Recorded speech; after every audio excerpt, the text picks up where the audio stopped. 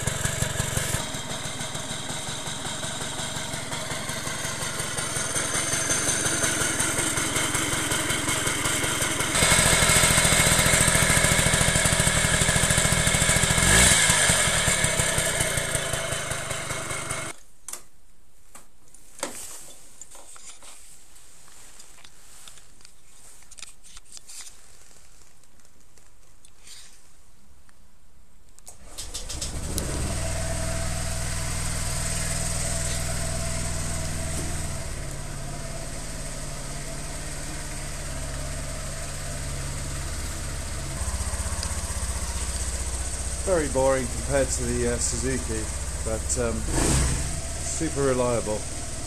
Far more reliable than that one. I'm going to let that run for a few minutes just to warm up.